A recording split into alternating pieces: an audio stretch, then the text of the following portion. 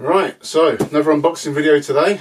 Um, this is a Squier Bullet Strat um, Sunburst. So let's have a look what you get inside. Bit covered.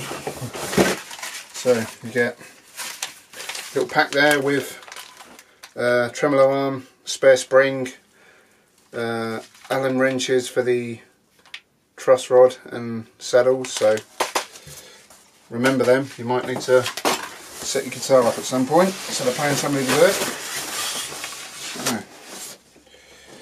Do away with the box. And there we have the guitar.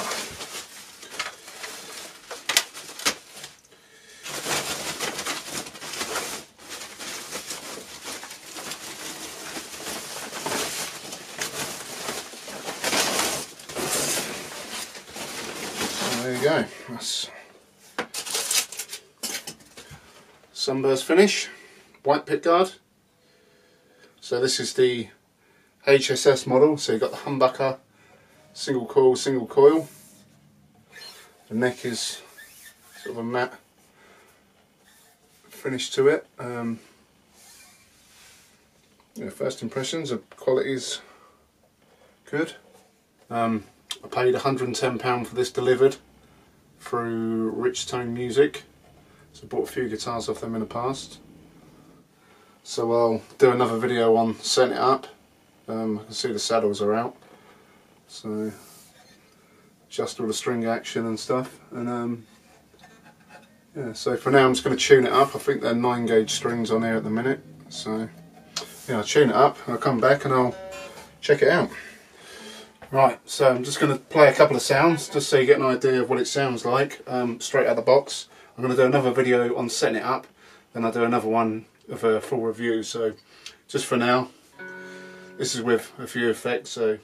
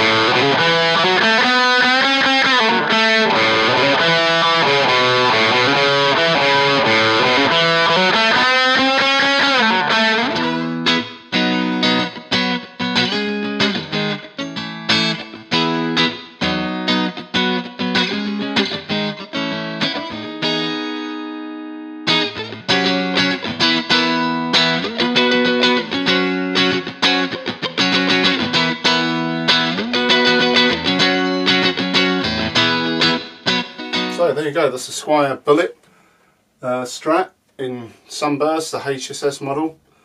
Um, first impressions, yeah, it's a nice looking guitar.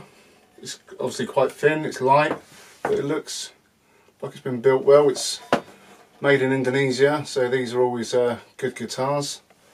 Um, I say straight out of the box, it definitely needs a setup because the intonation's quite a way out. As soon as you get up past the over halfway out the fretboard, you can notice it's out. But yeah, it's not too bad. The action's really low on this, so needs raising a bit, but good straight neck on it. But yeah, it's a good quality guitar. So my next video, I'll be doing um, a setup on it. So keep an eye out for that one. But give us a like. Any comments you have, leave them below, and um, subscribe to my channel. And thanks for watching.